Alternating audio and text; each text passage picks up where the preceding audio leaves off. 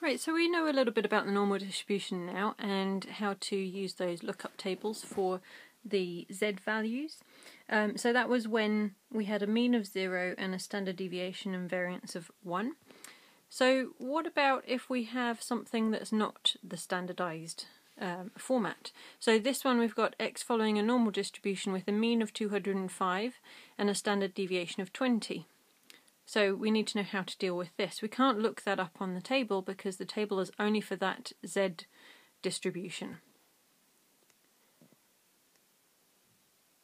So we need to transform x onto z in some way so that we can use that table to look up an equivalent amount.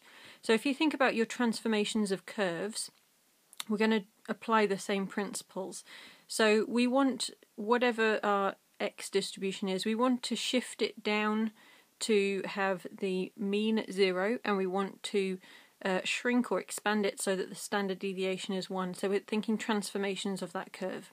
So first of all, if we do x minus mu, where mu is the mean, so in this case the 205, that will do the job of transforming it so that it uh, shifts the curve and it's centered around 0. So we've got one of the variables taken care of. If we want to change the the spread, the size of that, that curve horizontally, we need to do a division. So we'll divide through by the standard deviation so that we can get it to match 1. So this transforms the horizontal spread. If we apply this transformation to our x distribution, we will get the equivalent of what would happen in z. So for this one that we, we're talking about now, this 205 and 20, if we want the probability that x is less than a particular value of x1, we transform that into the z equation using that bit in the red box.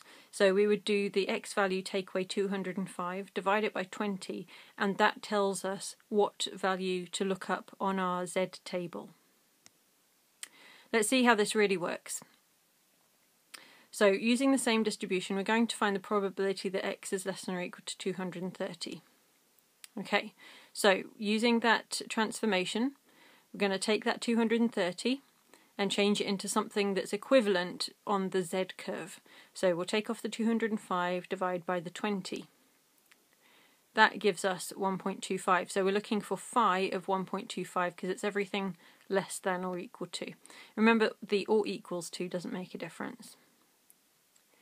You look that up on the uh, normal distribution table and you get 0.894. Okay, we'll do it again. We got another distribution. X follows a normal distribution with mean of 4 and variance of 25. We want to find the probability that x is greater than 1. So, We'll turn that 1 into the equivalent z value by taking away 4 and dividing through by the standard deviation. Remember, standard deviation will be the square root of the variance, so we want to square root that 25. So we divide, take off the 4 and divide by 5. So we're looking for z being greater than 0.6. Now remember our z tables only give us a less than or equal to um, value, not a greater than, so we need to just figure out what that would be equivalent to. So that's the area that it's representing. This would be the same as if we did less than 0.6. And we look that up on the tables and we get 0.726. Okay, next one. We're going between 2 and 7, so we need to transform it into the z equivalent first. Take off the mean, divide by sigma. Okay, let's have a think about what that looks like. So we're going in between minus 0.4 and 0.6. We've got to figure out how to how to make that. So we can do phi of 0.6 minus phi of 0.4, sorry, negative 0.4. And that negative we take care of as a 1 minus. So that's our final result.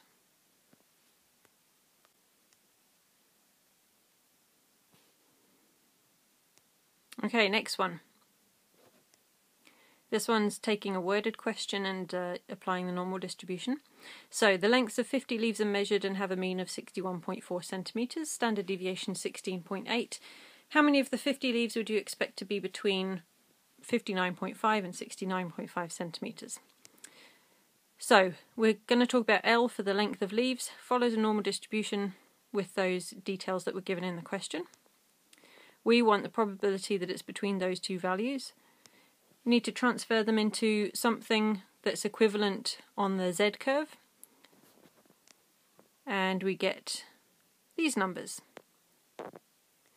Okay, so we find the probability there by doing our usual thing with the normal.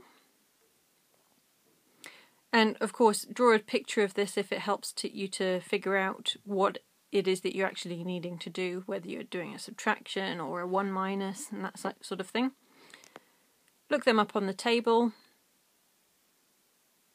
and that's what we get. So the probability that they lie between those two numbers is 0.2301. We haven't quite answered the question yet, just be careful here because you might miss the last couple of marks because you haven't actually fully finished this question. We want to know how many of those 50 leaves we expect to be between those amounts, so we will do our probability times by 50 and that will tell us how many leaves we could expect to be in that range.